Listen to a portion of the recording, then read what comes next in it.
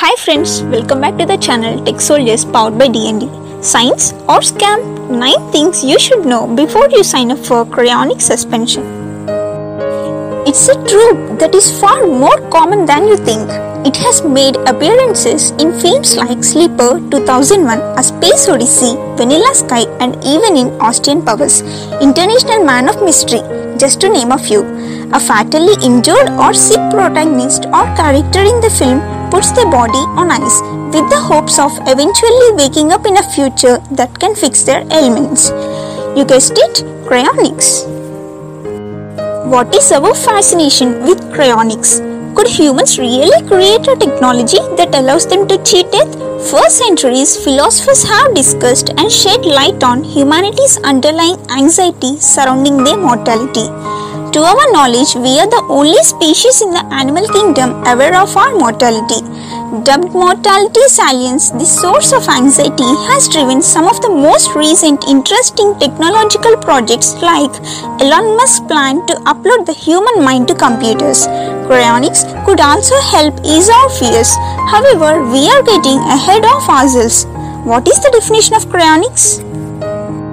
For the uninitiated, cryogenics is the study of what happens to materials at very low temperatures. Cryonics is the technique used to store human bodies at extremely low temperatures with the hope of one day reviving them. If you think that there is some distant opportunity for our future ancestors, you would be wrong. In fact, you can sign up to be cryogenically preserved now after you pass away for a hefty fee. However, what does science say about cryonics and is it something that we should be excited about? Let's take a look. It all started with the Iceman Robert Ettinger.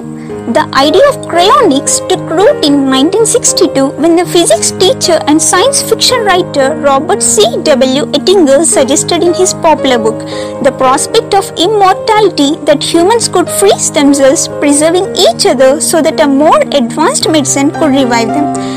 For the majority of his life, Ettinger was obsessed with his own mortality. In a way, he was always looking for immortality. What exactly is cryonics? Still not sure about cryonics? Let's break it down. As mentioned above, cryonics is the process of preserving human bodies in freezing temperatures with the eventual aim of having them revived when technology catches up. Basically, cryonics is betting on the fact that technology advances to such a point that we can bring people back who have died. Cryogenically freezing someone alive is currently illegal. It is currently illegal to cryogenically freeze anyone that is alive. How does the process work? There are three general steps. They are organizations around the world that will preserve your body for a hefty fee costing up to $150 in total. If you want to get cryogenically suspended, here is what you need to do. First, you would find a reputable facility, sign up, and begin paying your fee.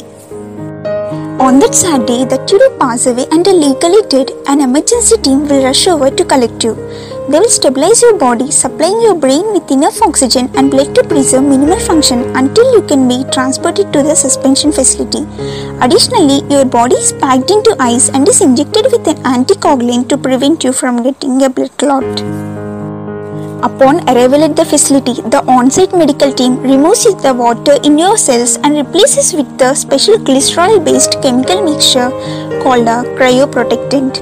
This substance prevents your body cells from freezing and eventually shattering. Think of it as an antifreeze for humans. The end goal. The medical team wants to prevent your body from forming any ice crystals during the cryonic suspension. Finally, once your body is deemed ready, it is cooled on a bed of dry ice until it reaches approximately minus 130 degrees centigrade. Then it is placed in its own massive metal tank filled with liquid nitrogen at a temperature of minus 190 degrees centigrade until the day you come back to life. Cryonics is still very much in its infancy.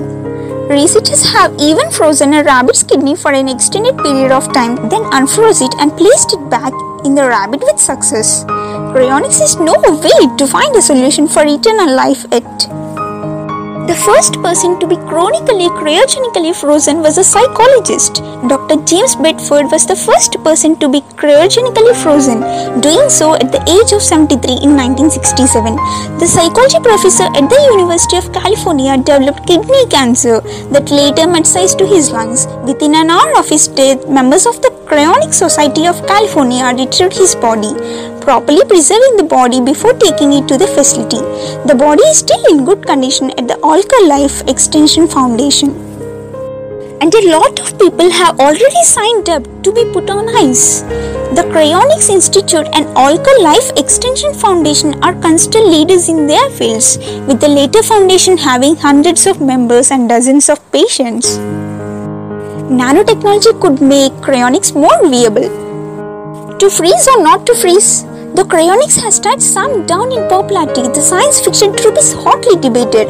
Emerging technologies like artificial intelligence could potentially make cryonics a more realistic option. However, we are going to have to wait and see. Researchers believe that cryonics could see a major role in 2040. We will just have to